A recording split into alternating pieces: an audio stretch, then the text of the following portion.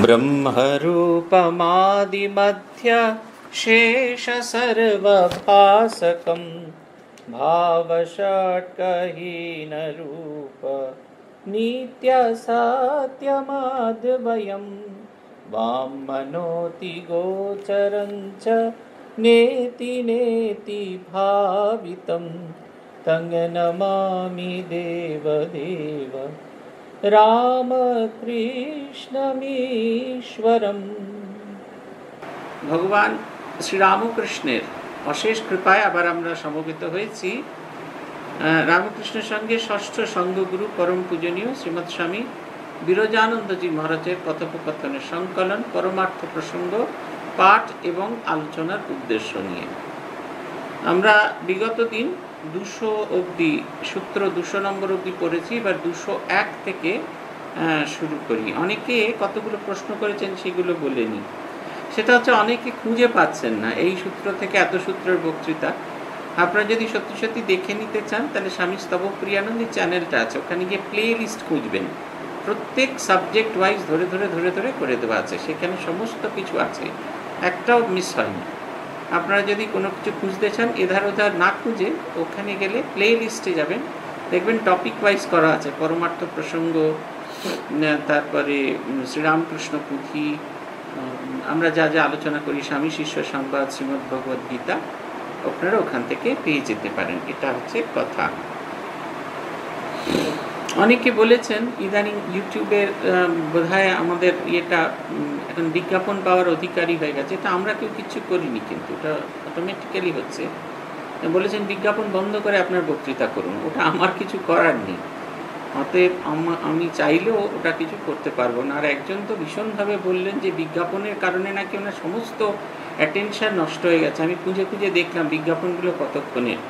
কোনোটা দশ সেকেন্ড, কোনটা বারো সেকেন্ড? বাবা, আমি এরকম মানে গভীর মনোযোগ খুব কম দেখেছি। যে বারো সেকেন্ডের বিজ্ঞাপনে আমাদের গোটা অ্যাটেনশন নষ্ট হয়ে যায়। খেই হারিয়ে যায়। উনি সুন্দর করে লিখেছেন, খেই হারিয়ে গেছে।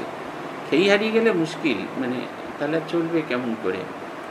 আমরা শুরু করছি এক, দুশো এক নম্বর প্রশ্ন, যেটা আজকের সূত্র যেটা দিয়ে শেষ করলাম এইমাত্র, সেইটা প্রসঙ্গে পূজনীয় স্বামী বিরজানন্দজি মহারাজ বলছেন। কাঁচা মন খনি থেকে তোলা কাঁচা মালের মতো। ময়লা, মাটি ভেজাল ও আবার আবর্জনার সঙ্গে মিশে থাকে। রাসায়নিক উপায়ে তাকে ধুয়ে, জ্বালিয়ে, শোধন করে নিলে তাকে খাঁটি সোনা বা তার চেয়েও কত মূল্যবান জিনিসে পরিণত করা যায়, যা মানুষের কত কাজে আসে আর তার জীবন রক্ষার সহায় হয়। সেই রকম কাঁচা মনকে যদি বিবেক অর্থাৎ সদাসৎ বিচারের দ্বারা ধুয়ে, ত্যাগ, বৈরাগ্য, ভক্তির আগুনে তার বিষয় বাসনা জ্বালিয়ে গুরুদত্ত পরমার্থ তত্ত্বের সাধনায় শোধন করে নেওয়া যায়, তাহলে তাই শুদ্ধ পাকা মনে পরিণত হয়। নিত্য শুদ্ধ সচ্চিদানন্দ স্বরূপ পরমেশ্বর সেই শুদ্ধ পাকা মনের গোচর হন। আর তারপরে সূত্রটা দেখুন, একই রকমের। দুশো দুই মন যেন ফলের মতো, কাঁচা বেলার টক, কষা বা বিস্বাদ লাগে, আর খেলে নানা রকম রোগ হয়। কিন্তু সেই ফলই পাকলে কেমন সুস্বাদু উপকারী হয়, দেবতার ভোগে পর্যন্ত আসে। মনও তেমনি, এই হচ্ছে কথা। কাঁচা মন খনি থেকে তোলা কাঁচা মালের মতো। খুব, আমরা অনেক বছর আগে বয়লার ডিলায় গিয়েছিলাম। বয়লার ডিলায় খনিজ আকর, একবার আকর লোহা তোলা হয়। তারপরে সেটা তুলে একটা অদ্ভুত ব্যাপার সেই বিশাল রাস্তা সেই কোথায় বয়লার ডিলার কোথায় বিশাখাপট্টনম? সেই সবটুকু রাস্তা জুড়ে সেই যে ট্রেন চলছে, সেখানে যাত্রী ওঠে মাত্র দু তিনটি এবং বাকি সবটা জুড়ে চলে ওই বাকি বগিগুলো মানে মালগাড়ি, মালগাড়ির সঙ্গে তিনটে চারটে যাত্রীবাহী কামরা ঢুকিয়ে রাখা আছে। সেই যাত্রীবাহী কামরাগুলোতে ওই ইয়ে আসে নাকি কি মানুষজন যেতে পারে। ফলে খুব দেরি হতো। কিন্তু ওইটা দেখবার মতো সেই বয়লার ডিলা থেকে ওই কনভেয়ার বেল্টের মধ্যে করে আসছে কাকরিক লোহা আসছে, স্টেশনে দেখবার মতো। সেই বয়লার ডিলা আয়রন ফ্যাক্টরি থেকে আসছে, সেখান থেকে খনি থেকে। সেই খনিজ পদার্থ সেই সেরা যেগুলো, সেগুলো নামছে। তারপরে ওগুলো আসবে বিশাখাপট্টনম। বিশাখাপট্টনম পোর্টটাই নতুন করে করা। ওটা প্রাকৃতিক পোর্ট নয়। ওই দেখতে কি সুন্দর, সেই সিমেন্টের ছক্কা। এই যেমন আমরা লুডো খেলি যে ছক্কা, সেই ছক্কা ফেলে ওই জায়গায় সমুদ্রকে শান্ত করে পোর্টটা তৈরি হয়েছে, সেখান থেকে সেটি জাপানের উদ্দেশ্যে রওনা দিচ্ছে। সবটুকুই আমাদের এই আকরিক ভালো লোহা জাপানে চলে যায়। তার বদলে এই রাস্তায় যে ট্রেনে যাওয়ার রাস্তা সেইটা তৈরি হয়েছে। পঞ্চান্নখানা গুহা সেগুলিকে কেটে সেই রাস্তা, ট্রেনের রাস্তা তৈরি করে যাওয়া। যাওয়াটা খুব আকর্ষণীয়।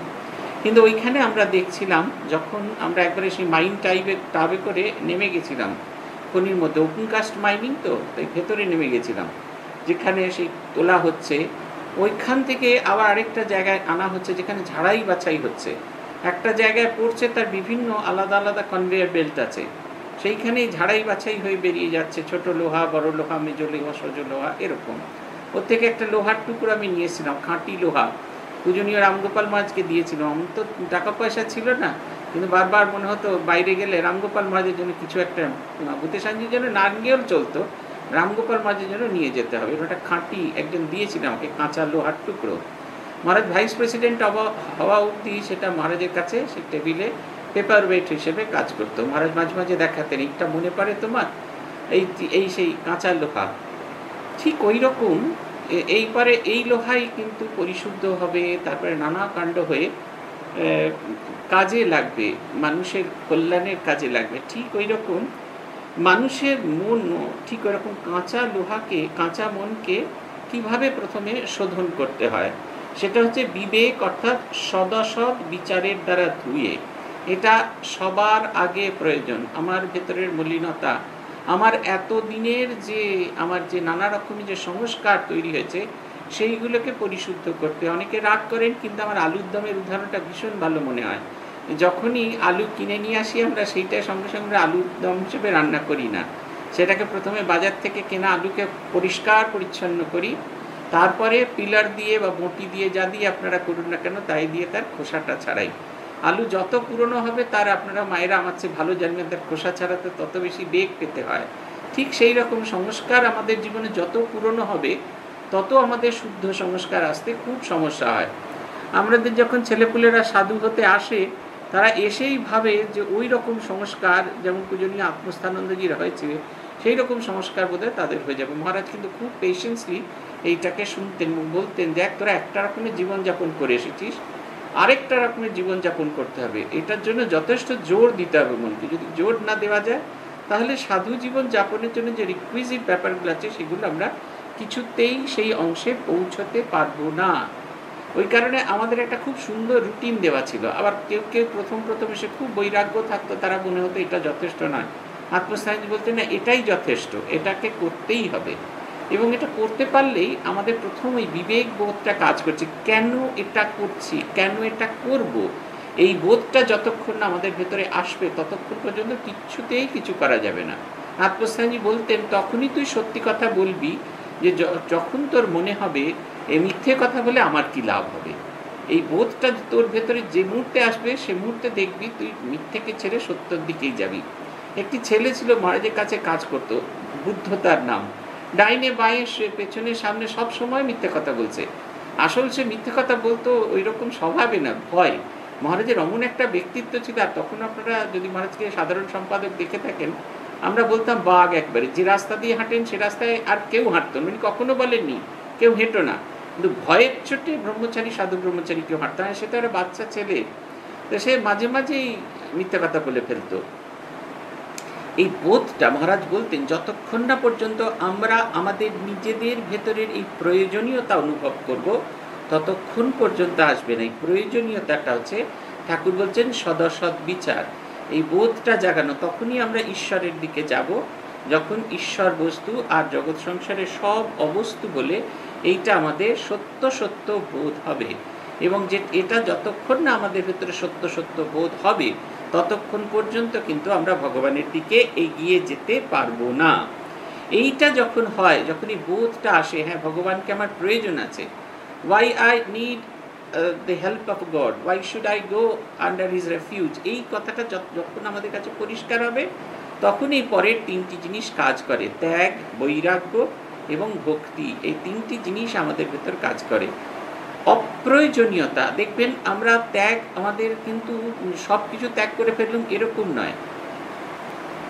কতটুকু প্রয়োজন আছে এবং কতটুকু অপ্রয়োজনীয় জিনিস আছে, এটাকে প্রথমে আগে ডিফারেন্সিয়েট করতে হয়। এবং যখন এইটা ডিফারেন্সিয়েট করতে পারব, তখন কিন্তু আমাদের আমরা অনেক সহজে ত্যাগ করতে পারব। ত্যাগ তখনই আমরা করতে পারি যখন আমাদের সেই বস্তুর প্রতি অসারতা বোধ হয়। এটা আমার কোনো কাজে লাগছে না। আমাকে যেমন অনেকে অনেক রকমভাবে আমি যেহেতু ফাউন্টেন পেনে লিখতে ভালোবাসি, যে যেখানে যায় সে পারলে একটা ফাউন্টেন পেনে আমি যেটা দিয়ে এত বছর ধরে লিখে আসছি, সেটাকে তো আমি ছাড়তে পারছি না। ফলে সেই ফাউন্টেন পেন যে দিচ্ছে, অনেকে আবার বলে, অনেক কাণ্ড করে খুঁজে পেতে কিনে নিয়ে এসেছি, ব্যবহার করবেন কিন্তু কিন্তু আমার আর ব্যবহার করা হয়নি সেটা সম্প্রদায়ের শূন্য বিভক্তি হয়। যে ভালোবাসে তাকে তাকে চলে যায়। আমার সেই পুরনো সেই দরকার মারা ফাউন্টেন পেনটাই থেকে যায়। এই বোধটা জাগা দরকার। এই যে আমাকে জিনিসগুলো দেওয়া হচ্ছে, এটা আমার কতখানি প্রয়োজন আছে? আমার কি আদৌ প্রয়োজন আছে? যখন দেখবেন এই আদৌ প্রয়োজন আছে কিনা, এই বোধটা আমার ভেতরে জাগবে তখন ত্যাগটা খুব সহজে আসবে। আমরা আসলে বুঝতে পারি না এই জিনিসগুলোর আমার দরকার আছে কি না একটা উলিকট গেঞ্জি বা দুটো উলিকট গেঞ্জিতে যদি আমার পুরো এই শীতটা কেটে যেতে পারে, আমি তখন কখনোই খোঁজ করব না। মানুষ এত পাগল নয় যে একশোখানা জিনিস জোগাড় করবে। এই ত্যাগ ব্যাপারটা ঠিক এই রকম আমরা তখনই ত্যাগ করতে শিখি। আরেকটা জিনিস, প্রিয়তমকে যখন আমরা ভালোবাসি, তার উদ্দেশ্যে আমরা ত্যাগ করি। সে এইটা ভালোবাসে না, অতএব আমি এমনটা করব না। তাকে ভালোবাসি বলে যেহেতু তিনি এইগুলি ভালোবাসেন না, তাই আমি ত্যাগ করছি। এই ত্যাগের ব্যাপারটা আরও একটা দিক থেকে আসে। ওই প্রথম হচ্ছে ভালোবাসা, ঈশ্বরকে ভালোবাসা। যতক্ষণ না পর্যন্ত আমরা ঈশ্বরকে অন্তর থেকে ভালোবাসতে পারব, ততক্ষণ পর্যন্ত কিন্তু এই বাকি জিনিসগুলো আসবে না। প্রথম হচ্ছে তাকে ভালোবাসাটা ভীষণ প্রয়োজন। আর দ্বিতীয়টা হচ্ছে বৈরাগ্য, বিষয়ে, বিরাগ এবং ঈশ্বরে অনুরাগ। একবারে পরিষ্কার এই ইয়ে সম্পর্কে, এই বিষয় সম্পর্কে ঠাকুর একবারে সংজ্ঞা দিয়ে দিয়েছেন। বিষয়ে, বিরাগ আর ঈশ্বরে অনুরাগ। বিষয়ে, বিরাগ একসঙ্গে, দুটো জিনিস একসঙ্গে হওয়া উচিত। দুটো জিনিস যদি একসঙ্গে না হয়, তাহলে কখনোই আমরা এগিয়ে যেতে পারব না। আমাদের মনটা জানেন তো খানিকটা সেই পরিবেশের মতো। যে মুহূর্তে যেমন পরিবেশে আমাদের উষ্ণতার কারণে এই হাওয়া ওপরে উঠে গেল তখন চতুর্দিক থেকে ঠান্ডা বাতাস আসতে থাকে সেই ফাঁকা জায়গাটাকে ভর্তি করার জন্য। ঠিক সেই রকম আমাদেরও সেই রকম যতক্ষণ না পর্যন্ত আমরা নিজেদের ভেতরে ওই দুটি জিনিস একযোগে করতে পারি, ঈশ্বরে বিষয় বিরাগ এবং ঈশ্বরের অনুরাগ।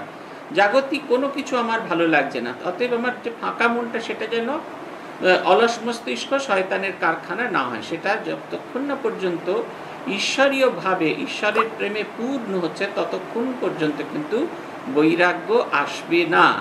যদি কোনো বৈরাগ্য আসে, সেটা দেখবেন সবটাই লোক দেখানো।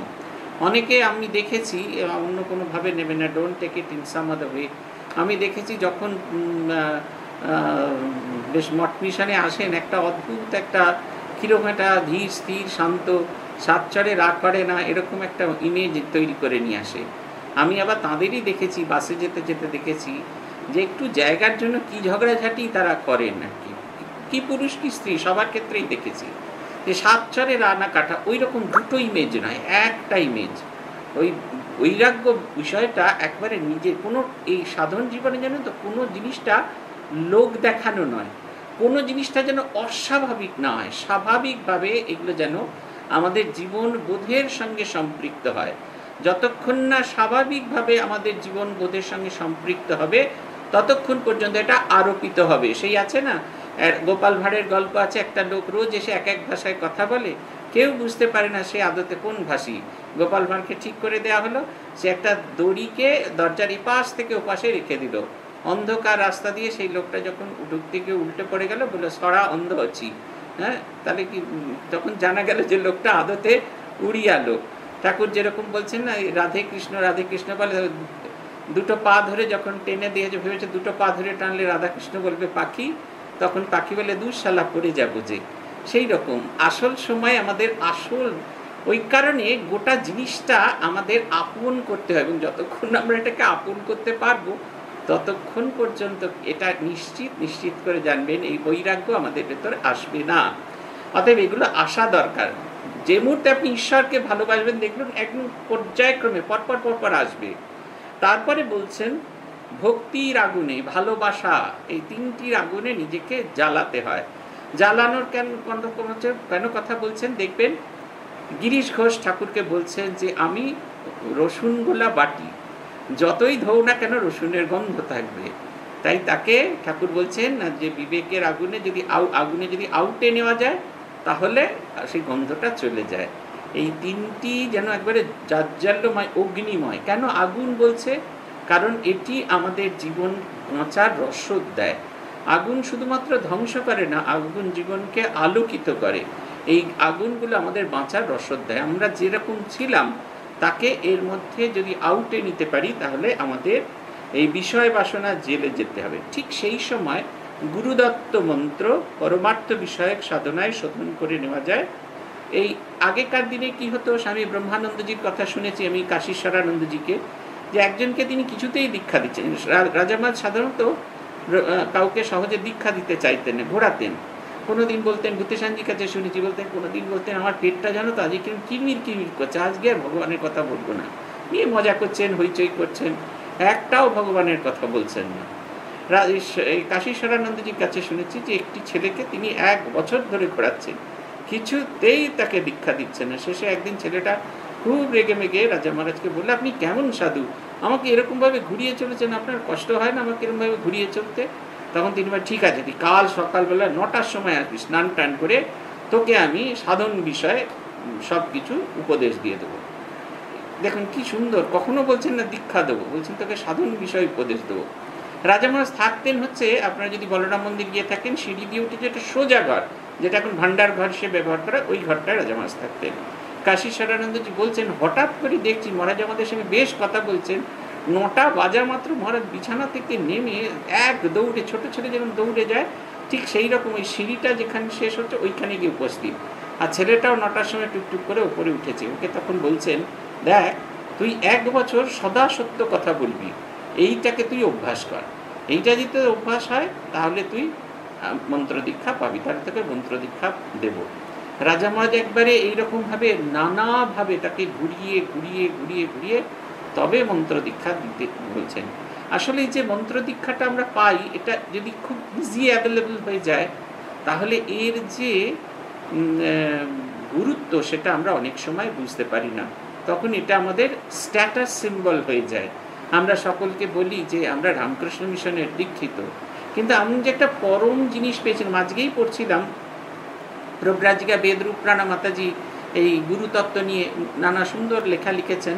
ওই আমাদের নিবোধত পত্রিকায়, সেখানে প্রভু মহারাজের কথা বলছেন। বলতে গিয়ে বলছেন যে, গুরু যে মন্ত্র দেন, সেই মন্ত্র কিন্তু শব্দাকারে, গ্রন্থে বিভিন্ন জায়গায় থাকে। কিন্তু যখন সেটা মন্ত্র সেটা যখন গুরুর মুখ থেকে আমরা শুনি, তখন সেটা চৈতন্যময় রূপ প্রাপ্ত হয়। গুরুর আধ্যাত্মিক শক্তির প্রভাবে সেটি তখন চৈতন্যময়তা লাভ করে। খুব সুন্দর কথা। এই বোধটা জাগা দরকার। আমি একটা পরম বস্তু লাভ করেছি। দেখবেন আপনারা অনেকেই দীক্ষা পাওয়ার পরেও কিরম একটা ইনফিরিয়রিটি কমপ্লেক্সে ভোগেন। আমার এটা খুব দুঃখ লাগে। যখন আমাদের দীক্ষা হয় তখন আমাদের গুরুরা একটা পবিত্র বস্তু স্পর্শ করিয়ে দেন। হয় এটা ঠাকুরের, নয় এটা মায়ের। অতএব প্রত্যক্ষ করি বা না প্রত্যক্ষ করি, মা বা ঠাকুর আমাকে স্পর্শ করেছে। সেই পরম পুরুষ বা জগন্মাতার স্পর্শ আমি পেয়েছি। অতএব আমার কোনোভাবে, আমার ভেতরে কোনোভাবে ইনফিরিয়রিটি কমপ্লেক্স আসার কথা নয়। আমি সেই জগন্মাতার সন্তান, তিনি আমাকে স্পর্শ করে, জগতে সবাই আমায় ছুঁড়ে ফেলে দিক না কেন? তিনি আমায় গ্রহণ করেছে। আমি ভগবানের দ্বারা গৃহীত, এই বোধটা যতক্ষণ না আসবে, ততক্ষণ পর্যন্ত কিন্তু এই দীক্ষার মর্মার্থ আমরা বুঝতে পারব না। জগৎ, জগৎগুরু আমার গুরুর মাধ্যমে, তার সেই মানবীয় মূর্তির মাধ্যমে আমাদের কাছে সেই মন্ত্রটা পাঠাচ্ছেন। আমরা আমাদের গুরুদের মানুষ জ্ঞান করে থাকি। ভূতেশ আনন্দজি একবার খুব অসুস্থ হয়ে পড়লেন। তিন দিন একটানা জ্বর, কিছুতেই মহারাজকে সুস্থ করা যাচ্ছে না। মহারাজকে কারোর সাথে দেখাও করতে দেওয়া হচ্ছে না। মহারাজের খুব মন খারাপ। তিনি যতটা না অসুস্থ, তার জন্য বেশি মন খারাপ মহারাজ কারোর সাথে দেখা করতে পারছেন না। অতএব উনি খুব জেদাজেদি করাতে প্রণামের ব্যবস্থা হলো। আমরা ভাবছি, এত অসুস্থতার মধ্যে প্রণাম হবে? প্রেসিডেন্ট মহারাজ কোয়ার্টারে গিয়ে একটা অদ্ভুত কাণ্ড। মহারাজের যেখানে খাট ছিল, তার তিন দিকে তিনটি জানলা ছিল। সেই তিনটে কাঠের জানলা খুলে দেওয়া আছে, কাঁচের জানলা বন্ধ। আর ঘরের ভেতরে মহারাজ আতশোয়া হয়ে বসে আছেন। মহারাজের এখানে একটা মাইক্রোফোন আর কাল কানে কম শুনতেন, কালা বলে ফেলছি সরি এই কানে কম শুনতেন, তাই একটা স্পিকারটা মহারাজের কানের কাছে ধরা আছে। বাইরে একটা মাইক্রোফোন লাগানো আছে। আমরা মহারাজকে প্রণাম করে জিজ্ঞেস করছি, মহারাজ, আপনি কেমন আছেন? তখন মহারাজও বলছেন আমরা আমিও ভালো আছি। জনে জনে জিজ্ঞেস করছেন, কি গো, তোমরা কে, কেমন আছো? যেরকম দর্শনও তো ঠিক সেরকম। কিন্তু এই বলতে বলতে মহারাজ একটা অদ্ভুত কথা বললেন। এখানেও কাঁচের ভেতরে, ওখানেও কাঁচের ভেতরে। এই কথাটা আমার ভীষণ কানে লেগেছিল। এই কথাটা দেখুন, তিনি এই প্রথম স্বীকার করলেন তিনি এবং শ্রীরামকৃষ্ণ এক। ওই মন্দিরে, ঠাকুরের মন্দিরে সেখানে কিন্তু শ্রীরামকৃষ্ণ কাঁচের ভেতরেই বসে থাকেন। আর এখানে তার প্রতিরূপও কাঁচের ভেতরে বসে আছে। তিনি বলেছিলেন, এখানেও কাঁচের ভেতরে, ওখানেও কাঁচের ভেতরে। পূজনীয় প্রভু মহারাজের এই লেখাটা বেদরূপ প্রাণা মাতাজির লেখাটা পড়ছিলাম, সেখানে তিনি বলছেন যে যখনই কিছু মনে হবে, তখনই ঠাকুরকে গিয়ে মন্দিরে বলবে। তাহলে আমি শুনতে পাবো। দেখুন, গুরু স্বীকার করছেন তিনি এবং ইষ্ট একীভূত। ইষ্টের তিনি ইষ্টের মূর্তি। আমাদের কাছে চলায়মান, চলমান মূর্তি। এটা হচ্ছে কথা। সেই কারণে তিনি যে অদ্ভুত মন্ত্রটি দিচ্ছেন, তিনি যে মন্ত্র দীক্ষা দিচ্ছেন সেগুলি শব্দ নয়, চৈতন্যময় মন্ত্র। শ্রীরামকৃষ্ণদেবের শব্দ সম্পর্কে, উচ্চারিত শব্দ সম্পর্কে প্রভু মহারাজ এই চিন্তানায়ক বিবেকানন্দের ভূমিকা বলতে গিয়ে বলেছেন, শ্রীরামকৃষ্ণের প্রতিটি কথা মন্ত্র এমন এমন শব্দ যেগুলোকে চিন্তা করলে মানুষ এই সংসার বন্ধন থেকে মুক্তি পায়। শব্দ বলছেন না, বলছেন শ্রীরামকৃষ্ণের কথা নয়, বলছেন সেগুলি মন্ত্র। মনন করলে মরণাত্রায়তে ইতি মন্ত্র, যাকে চিন্তা করলে, ভাবনা করলে, আমি এই সংসার বন্ধন থেকে মুক্তি পেতে পাই। তাই যখন আমরা মন্ত্র পাই, সেটা খুব সাধারণ জিনিস নয়। সেটা আমার সঙ্গে ভগবানের কানেকশন হয়ে গেল। ওইটাই হচ্ছে কিবোর্ড চিচিং ফাঁক, সেই আলু ফাঁক, বেগুন ফাঁক, পটল ফাঁক, কত কিছু বললে কিছুতেই হবে না। ওই চিচিং ফাঁক শব্দটা জানতে হবে। তবে অধ্যাত্ম রাজ্যের দরজা খুলে যাবে। আমরা এই জিনিসটা পেয়ে, হাতে মন্ত্রটা পেয়ে আলু ফাঁক, চিচিং ফাঁক, পটল ফাঁক করে যাই। তাই আমাদের কাছে অধ্যাত্ম রাজ্যের মন্ত্রটা খোলে না। তাহলে প্রথম হচ্ছে ভালোবাসা, তার প্রতি। তার প্রতি যখনই ভালোবাসা আসবে, তখন ত্যাগ, বৈরাগ্য এবং ভক্তির আগুনে আমরা নিজেদের পরিশুদ্ধ করে এবার সেই ক্ষেত্রে যখন সেই বীজ রোপিত হয়, তখন কি হয়? পরমাত্ম তত্ত্বের সাধনায় শোধন করে নেওয়া যায়। তাই শুদ্ধ এবং পাকা মনে রূপান্তরিত হয়। অর্থাৎ বুঝতে পারছেন তো, কাঁচা পাকা এই পিঁপের মতো নয় যে কিছুদিন গাছে ঝুললো, তারপরেই পেকে গেল, তা কিন্তু নয়। মনকে পাকাতে গেলে বেশ পরিশ্রম করতে হবে এবং এই পরিশ্রমটা হোক, সেটা ভগবান চান আর কি। এই পরিশ্রমটা ভীষণ ভীষণ ভীষণ জরুরি। এই পরিশ্রমটা না থাকলে খুব সমস্যা। এরপরে বলছেন, নিত্য সিদ্ধ কি হয় তাতে? পাকা মনে নিত্য শুদ্ধ সচ্চিদানন্দ স্বরূপ পরমেশ্বর সেই শুদ্ধ পাকা মনের গোচর হন। অনেকে বলেন, সেদিনকে একজন বলছিলেন, তাহলে ঠাকুরকে ডাকলে ঠাকুর এসে আমার সঙ্গে দেখা করবে তো? মানে সামনাসামনি দেখা হবে? যে আমার সাধন ভজন করে যেটুকু বোধ হয়েছে সেটা হলো এই, যে ঈশ্বর দর্শন, অন্তত ঠাকুরকে, ঠাকুরের যে দর্শন সেটাকে পড়ে যেটা মনে হচ্ছে আমার তো ঈশ্বর দর্শন হয়নি, অতএব আমি বলার অধিকারী নই। আমার যেটা অনুভব সেটুকু আপনাদের বলছি, সেটা হচ্ছে এটা এক ধরনের অনুভূতি, এক ধরনের ভালো লাগার অনুভূতি। এটা কিন্তু শব্দ দিয়ে, কোনো কিছু দিয়ে প্রকাশ করা যায় না। স্বামীজি বলছেন না, ধীরে ধীরে ছায়া দল মহালয়ে প্রবেশিল, বহে মাত্র আমি আমি, সেই ধারা অনুক্ষণ। সে ধারাও বদ্ধ হলো, শূন্যে শূন্য মিলাইল, অবাং মনস গোচরম, বোঝে প্রাণ, বোঝে যা সেই ধারা বদ্ধ হয়, সে ধারাও বদ্ধ হলো, শূন্যে শূন্য মিলাইল, অবাং মনস্য গোচরম, বোঝে প্রাণ, বোঝে যার। এই একেবারে অনন্ত এমন একটা অবস্থায় গিয়ে পৌঁছয়, সেখানে সেটা বাক্য এবং মনের অতীত। ঈশ্বর লাভ হলে সেটা আমাদের আচরণে আমরা বুঝতে পারি। পূজনীয় আত্মস্থানন্দজি খুব বকাঝকা করতেন আমাদের। একটা সময় আমরা খুব বকাঝকা খেয়েছি। তখন উনি ভাইস প্রেসিডেন্ট, আমি একদিন ওনাকে বললাম তখন উনি আর বকেন না। বেশ মিষ্টি করে কথা বললেন। তা আমি বললাম যে, আপনি কিন্তু অনেক বদলে গেছেন, বুঝলেন তো? বলছে, কেন এরকম কথা বলছিস কেন? তখন আমি বললাম, আপনি আপনার সেই স্পেশাল শব্দগুলো বলতে পারছি না তো, যে যে শব্দগুলো বলতেন উনি পাবলিকলি বলা যায় না। উনি, আমি বললাম, সেই সব, সেই বিশেষ বিশেষ শব্দ দিয়ে আর আমাদের ডাকাডাকি করেন না। তখন উনি বললেন, দেখ, খুব চুপ করে থাকলেন, হাসলেন। এসে চুপ করে থেকে বললেন, আসলে ভাইস প্রেসিডেন্ট পোস্টটা মনে হচ্ছে ঠাকুরের সঙ্গে টিউন হয়ে থাকা। আমি এখনও টিউনড হইনি রে, টিউনিং করে চলেছি। এটা কিন্তু একেবারে আমাদের সকলের জন্য প্রয়োগ। ভগবানের সঙ্গে টিউন হয়ে থাকাটা কথা। আমাদের এই সাধন, ভজন, এই প্রার্থনা, পড়াশোনা, ভগবানের দিকে মন যাওয়া শুধু টিউন হয়ে থাকা। আকাশে ইথার তরঙ্গে বইছে ninety eight point three Red FM M কিন্তু আমার রেডিওটা যতক্ষণ না পর্যন্ত ninety eight three, ninety eight point three Red F এমে যাচ্ছে, ততক্ষণ পর্যন্ত এই সৎ এটা আমরা বুঝতে পারব না। এই যে ঈশ্বর দর্শনিক সৎ, এটা আমাদের বুঝতে গেলে কিন্তু এই সাধন ভজনের প্রয়োজন আছে। আমরা তখনই সাধন ভজন করে যুক্ত হতে পারি, যখন আমাদের মনের ভেতরে এই ভাবটি জাগতে পারে। তাতে নিত্য শুদ্ধ সচ্চিদানন্দ স্বরূপ পরমেশ্বর সেই শুদ্ধ পাকা মনের গোচর হন। তাকে সেইখানে দেখা যায় এবং তার প্রকাশ, তার চলনে, বলনে দেখা যায়। আমি তিনটি রূপ দেখেছিলাম আমার দেখা সৌভাগ্য হয়েছিল। পূজনীয় স্বামী আত্মস্থানী, তখন সহকারী সাধারণ সম্পাদক। আমি যখন সংযুক্ত হয়েছি মঠের সঙ্গে সাধু হিসেবে, তখন উনি সাধারণ সম্পাদক। তারপরে দেখেছি তাকে ভাইস প্রেসিডেন্ট হিসেবে এবং দু হাজার সাত সাল থেকে দেখেছি প্রেসিডেন্ট হিসেবে। প্রেসিডেন্ট হিসেবে বেশি আমার বেশি করে মনে পড়ে, কারণ ওই সাত বছর দু থেকে দু হাজার চোদ্দ যে সাত বছর উনি দীক্ষা দিয়েছেন, ব্রহ্মচর্য, সন্ন্যাস তারপরে এমনি সাধারণ দীক্ষা সব কটাতেই আমি মহারাজের সঙ্গে থাকার সৌভাগ্য পেয়েছিলাম। মানুষটা যে একদম অন্য মানুষ বদলে গেছেন, যাকে দেখে এসেছিলাম, যাকে দেখে ভালোবেসে ফেলেছিলাম, যার চোখের দৃষ্টি দেখে মনে হয়েছিল, যার সোজা হয়ে বসা দেখে মনে হয়েছিল, আর যাই হোক, আমি কখনো অন্য কারুর কাছে যাব না। সেই মানুষটার যাকে প্রেসিডেন্ট হিসেবে দেখি, সেই মানুষটা যে এক নয়, এটা আমি অন্তরে অন্তরে উপলব্ধি করতে পারি। ভগবান দর্শন হলে মানুষের পাকা মন কীরকম হয়, সেটা আমরা ওনাকে দেখেছি। কোনো অবস্থাতেই আমরা মহারাজের কাছ থেকে একটা নেগেটিভ কথা শুনতে পেতাম না। এটা একটা অদ্ভুত ব্যাপার।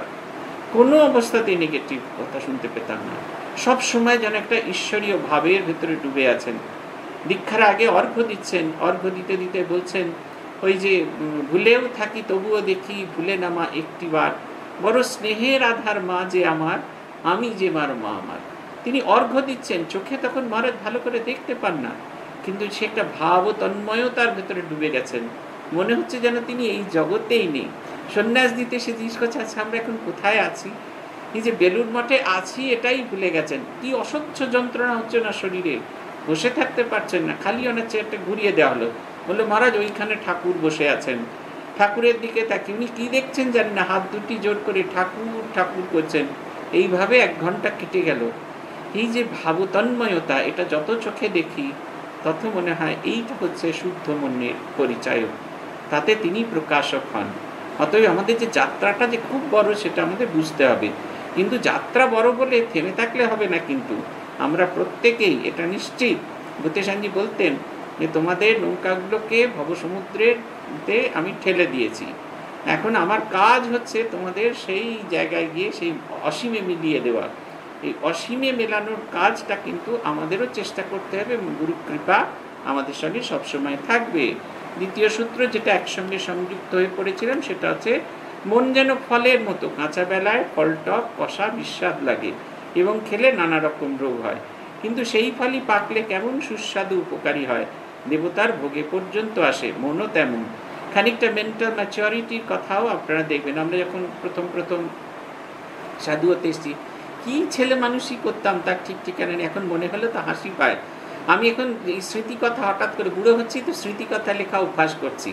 এই স্মৃতিকথা লিখতে গিয়ে তখন মাঝে মাঝে ওই যত পড়ছি আর নিজে মনে মনে খুব বা হাসছি যে কী বোকা ছিলাম, এই ঘটনাগুলো এরকম ঘটতো, তখন আমি কেমনভাবে দেখতাম? যে দেখার দৃষ্টিভঙ্গিটা বদলে যাবে।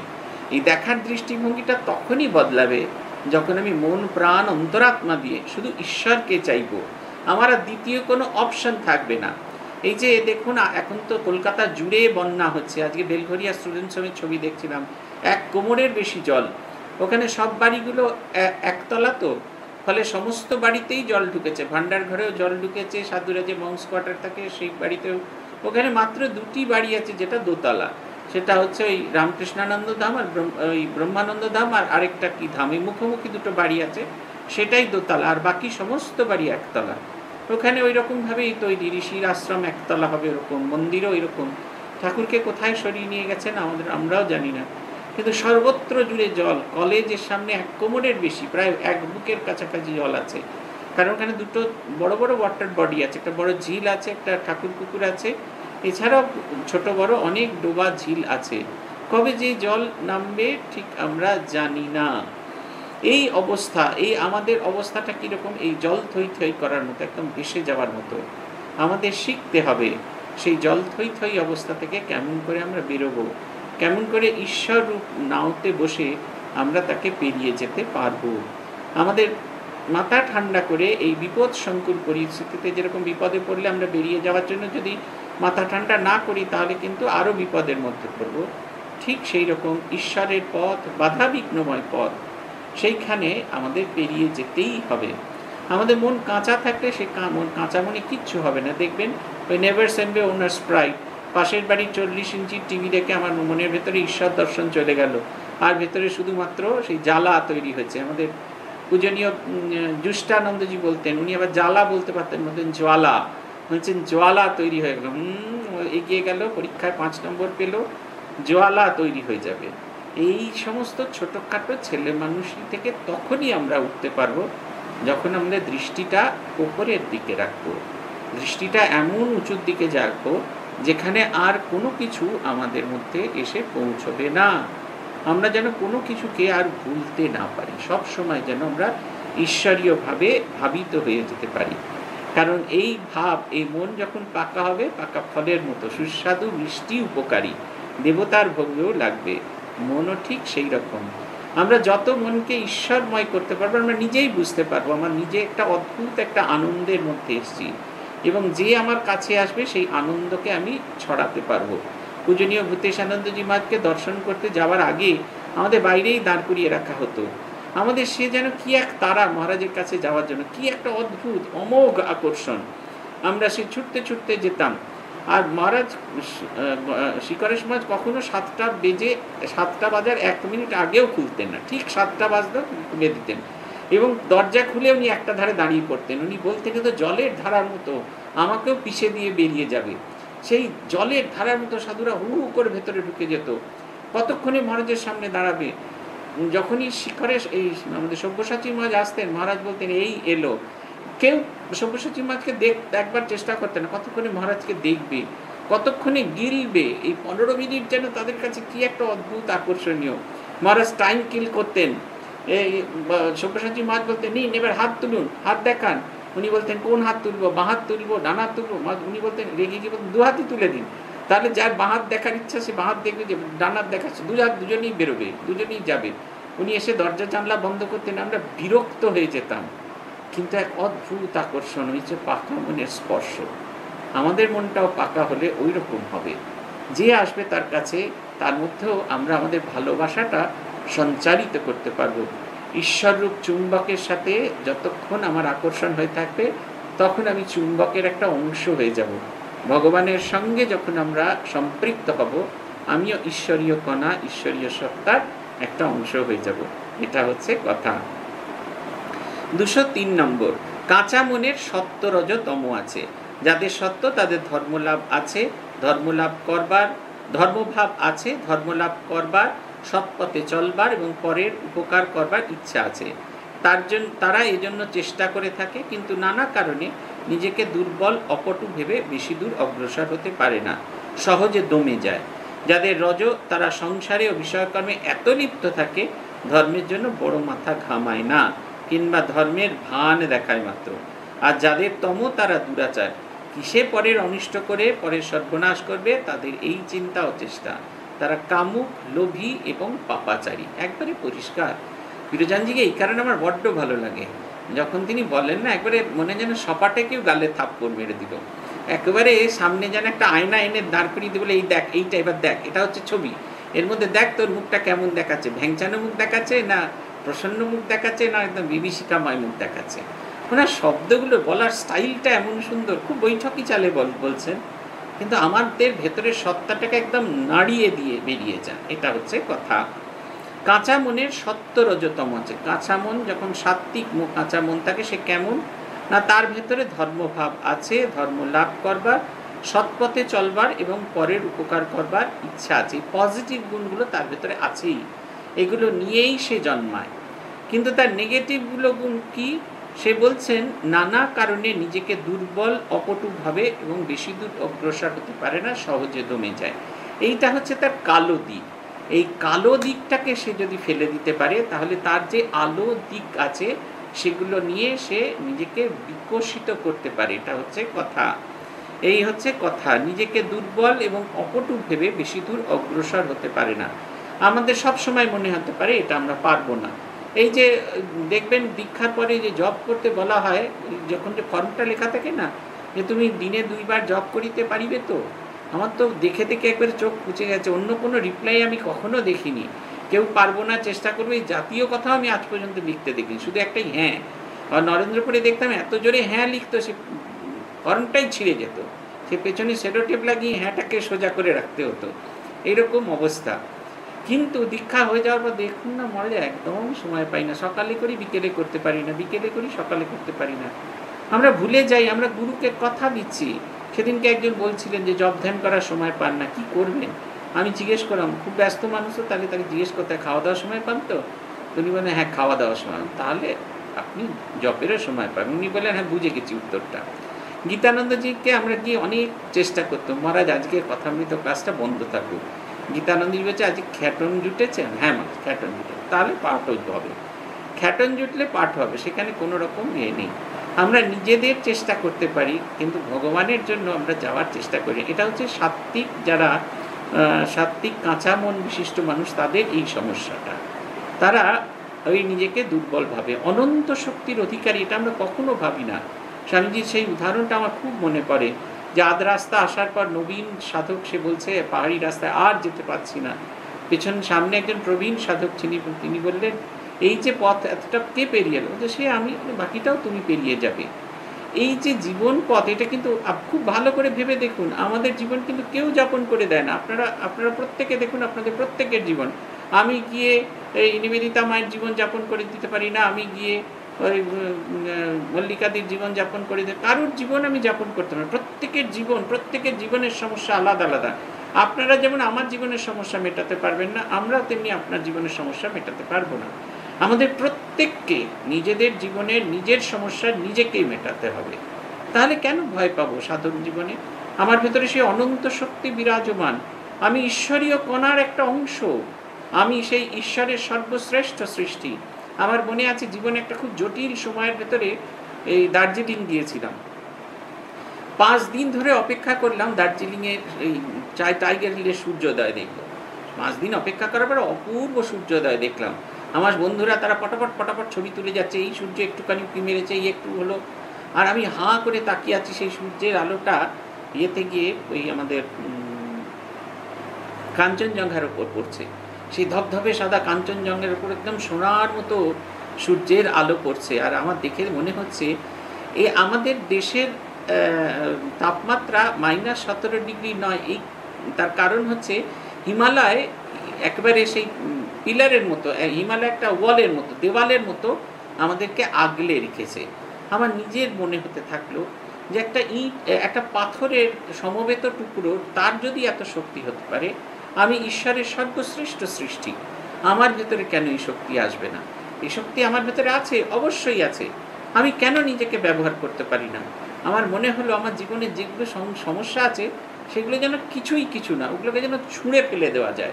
জীবনকে যেন একটা নতুন করে দেখা শুরু হলো। মাদের টেরিজার একটা জীবনে ভারী সুন্দর গল্প আছে। এই দার্জিলিং থেকে উনি ট্রেনে ফিরছেন তখন উনি ওনার জীবন যেটা বলে যে উনি যিশুর দর্শন পেলেন এবং যিশু তাকে পথ শিশুদের সঙ্গে দেখা কাজ করবার অনুমতি প্রদান করলেন। ওটা তার ডিভাইন ভিশন বলে ওরা বলে। আমার মনে হয় ডিভাইন ভিশন হচ্ছে এইটা। আমরা নিজেদের আলোকে নিজেদের নতুন করে যখন রিভিজিট করি আমরা নতুন করে যখন নিজেদের দেখি এইটার প্রয়োজন আছে। এই যে সাত্বিক যে এরা আছেন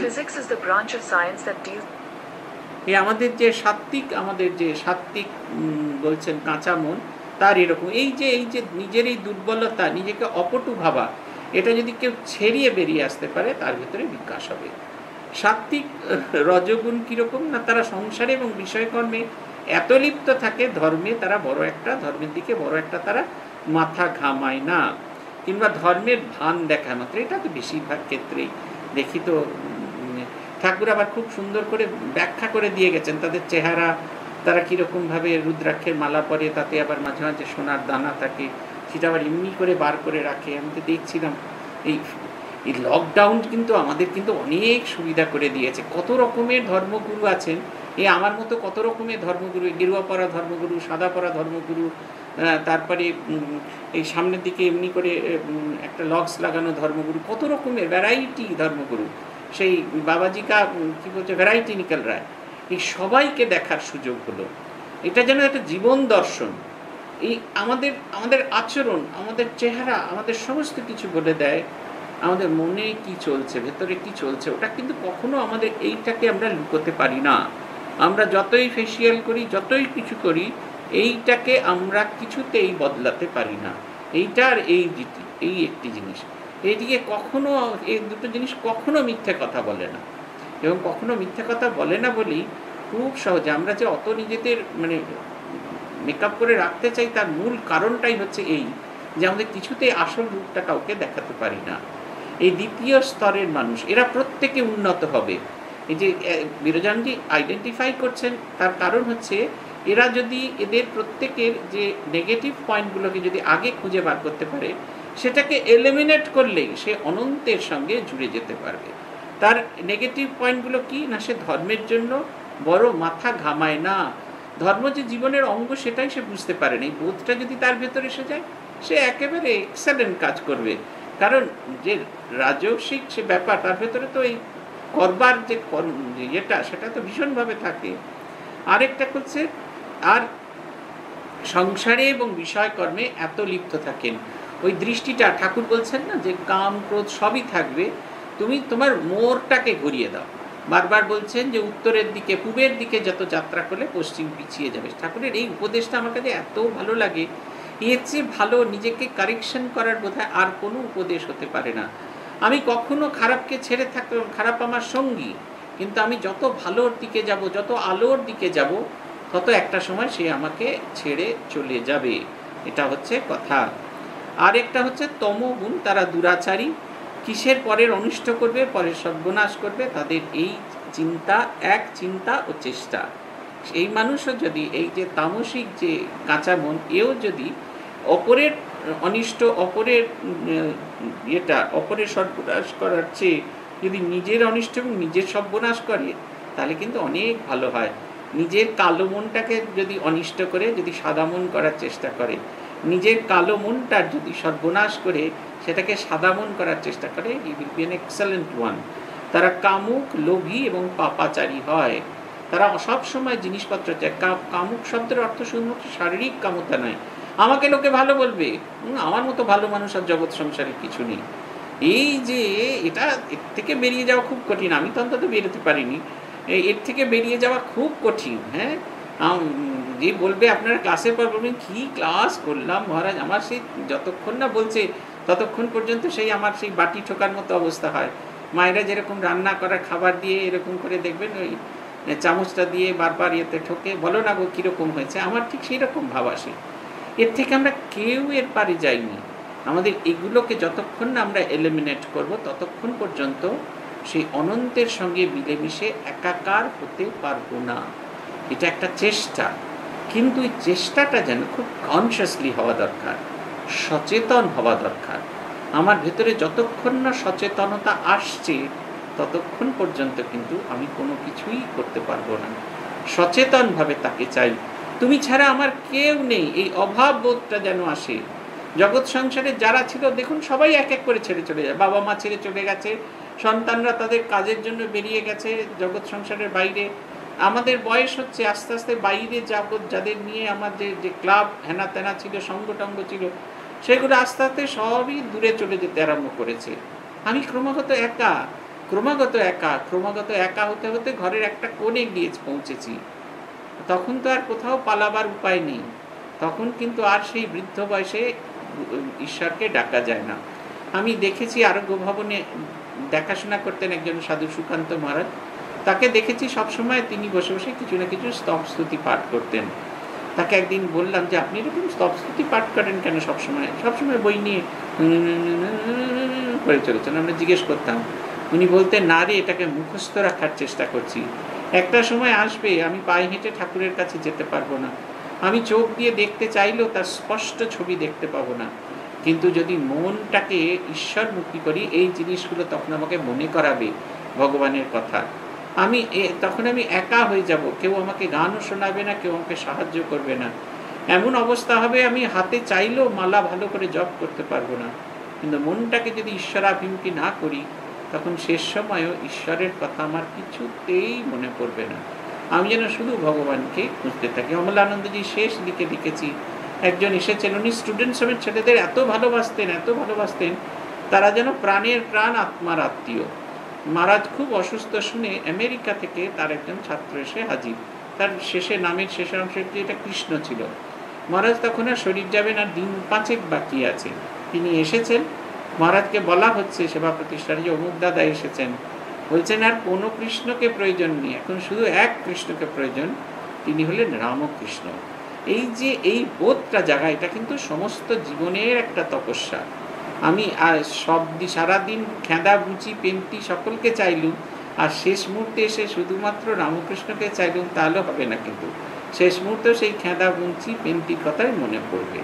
তাই সব দৃষ্টিটাকে ঘুরিয়ে ঠাকুরের দিকে দৃষ্টি বা নিজের ইষ্টের দিকে দৃষ্টি যত যাবে, আমাদের তত জীবনটা সুন্দর হবে।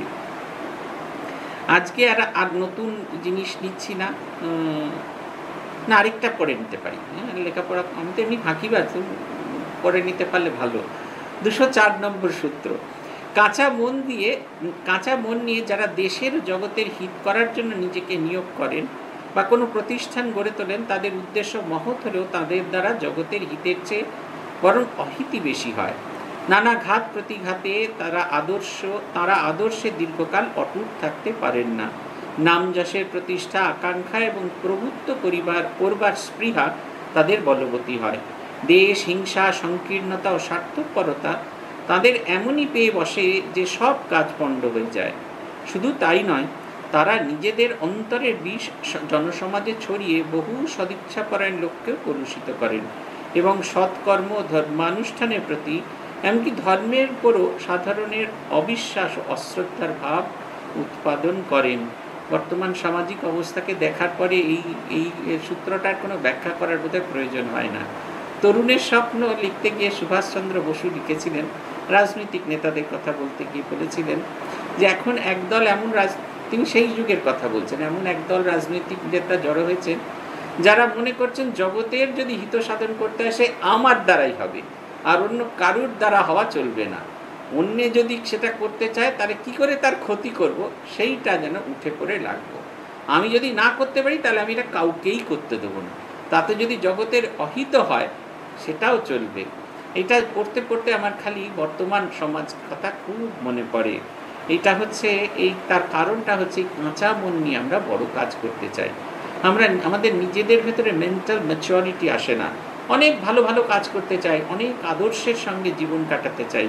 কিন্তু সেটা আমরা দীর্ঘস্থায়ী করতে পারি না। তার কারণ হচ্ছে, যখন আঘাত আসে, সংসারে নানা রকম ঘাত প্রতিঘাতের মধ্যে পড়ি, সেটার সঙ্গে আমরা কিছুতেই মানে স্ট্যান্ড করতে পারি না। এটা হচ্ছে আমাদের সবচেয়ে বড় সমস্যা। সেটা আমরা কিছুতেই সেটাকে হজম করে উঠতে পারি না। এটা কিন্তু ভাবতে হবে। সবার আগে সেই কারণে মনটাকে কাঁচা থেকে পাকা করার খুব প্রয়োজন আছে। এবং যতক্ষণ না মনটা পাকা হচ্ছে ততক্ষণ কিন্তু অন্তহীন কষ্ট অন্তহীন কষ্ট। এই অন্তহীন কষ্টের থেকে আমাদের বেরোতেই হবে। আমরা ভালো কাজ করতে চাই, কিন্তু ওই যে আমার যে আছে জেলাসি আমার যে প্রতিষ্ঠা পাওয়ার আকাঙ্ক্ষা, আমার প্রভুত্ব পাওয়ার আকাঙ্ক্ষা, অন্যকে ছোট করে আমি বড় হব, এই আকাঙ্ক্ষাগুলো আমাদেরকে কিছুতেই এগিয়ে যেতে দেয় না। তারা যেন টেনে হিঁচড়ে রাখে। পূজনীয় কাশীশ্বরানন্দজি মাঝ বলতেন, আমাদের স্বভাব কিরম জানিস তো? কাঠ কাঠবিড়ালিটা চচ্চা চচ্চা করে ওপরে উঠে গেছে। তার চেহারাটা হালকা, তারপরে চেহারাটাও ছোট, সে তো গাছের মুখ ডালে উঠবে, কিন্তু আমি উঠতে পারি না। আর এই কাঠবিড়ালিটা উঠে গেল। বলতেন দু চারটে বাদাম ভাজা নিয়ে এমনি করে চুচু চুচু করে ডাকতে থাকে। কাঠ বিড়ালি পরম বিশ্বাসে সে, সেই বাদাম ভাজা টুকে টুকে খেতে থাকে। এই বাদাম ভাজা খায় তারা। তা অবশেষে আর আরেকটা লোক কী করে? না, সে কাঠবিড়ালির লেজেতে এখানে ইট দিয়ে দড়ি ইট সাথে বেঁধে সেটা লাগিয়ে দেয়। এবার কাঠবিড়ালি চলে যায়। কাঠবিড়ালি গিয়ে কিন্তু আর সেই মুখ ডালে উঠতে পারে না। মাঝ রাস্তাতেই থেমে যায়। দেখে আমাদের সে যে কী আনন্দ হয়, তোদের কি বলব? এই বৃদ্ধ মজা করে বলছেন বলছেন, ওটা নয়। সাধকের এরকম ভাব হওয়া উচিত। অনেকে এগোবে, তার সঙ্গে আমিও এগোবো। আমি তো এগোবই, তারই সঙ্গে সকলকে নিয়ে এগোবো। এই যে রামগোপাল মহারাজের একটা প্রার্থনা আমার আমার মনে খুব গেঁথে গেছিল, সেইটা বারবার মনে পড়ে। সেটা হচ্ছে উনি বলছিলেন, যখন দুর্গা পুজো করতে যাবে, শুধুমাত্র পূজারীর প্রার্থনা বা গৃহস্বামীর প্রার্থনা করে দেওয়ার পৌঁছানোর কথাই তোমার নয় বলতেন, ঠাকুর যে বলেছে, তিনটে জিনিস দেখবে। এক হচ্ছে পূজারীর ভক্তি, গৃহস্বামীর অন্তরিকতা প্রতিমা যেন যতটা সুন্দর করা যায় ততটাই। তিনটে যেন হয়, এটা দেখার কথা। আর দুই বলছেন, সবার পুজো যেন পৌঁছয়। তুমি দেখবে যারা যারা ফল কাটছে, যারা নৈবেদ্য সাজাচ্ছে, যারা ঠাকুর ঘরে রান্না করছে, বাটনা বাটছে, চন্দন বাটছে, তারপরে ফুলের থালি সাজাচ্ছে, বারবার আসা যাওয়া করছে, সবাইয়ের যেন মায়ের কাছে যাওয়ার সুযোগ পায়। এবং যারা রান্না করে তাদেরকে এমনকি ঢাকি সেও যেন পায়। উনি বলে দিয়েছিলেন, এই সময় এই সময় এদের ডাকবে, তাহলে কিন্তু এরা তোমার কাজগুলো করে উঠতে পারবে। সেটা হচ্ছে ওই যখন রান্নার লোকেরা আসবে ভোগ তুলতে, সেই সময় আমরা যেন তাদেরকে অঞ্জলির ব্যবস্থা করে দিতে পারি। আর দুই হচ্ছে যে ঢাকি যেখানে আসবে, তাকে দিয়ে একটা সময় অঞ্জলি দিয়ে সকলের ফুলটা তার নিয়ে, তার সামনে নিয়ে গিয়ে দেবীর পাদপদ্মে দিয়ে দেওয়া। বলতেন, সকলের সম্মিলিত প্রার্থনা সংযুক্ত হলে তখনই আমাদের এটা হয়। আমাদের, আমরা আজকে এইখানেই থামছি। ভগবান যদি দিন দেন, তাহলে আমরা আবার আগামী দিন দুশো পাঁচ নম্বর সূত্র থেকে আগামী শুক্রবার দিন থেকে শুরু করব। আগামীকাল এখনও পর্যন্ত আমি বাংলাদেশের দিনাজপুরের ইয়েটা পাইনি, সূত্র পাইনি, সেটা যদি পেয়ে যাই, আপনাদের দিয়ে দেবো সাড়ে সাতটা থেকে। সৎপ্রসঙ্গ আগামীকাল, নাহলে আগামী রবিবার দিন আবার আমরা শ্রীরামকৃষ্ণ পুঁথি শুনব। প্রণতানাম প্রসীদত্বম দেবী বিশ্বার্থিহারিণী ত্রৈলোক্য বাসিনামিতে লোকানাম বরদা ভব ওম শান্তি ওম শান্তি ওম শান্তি, হরি ওম তৎসৎ শ্রীরামকৃষ্ণ আপনারা সবাই খুব ভালো থাকবেন।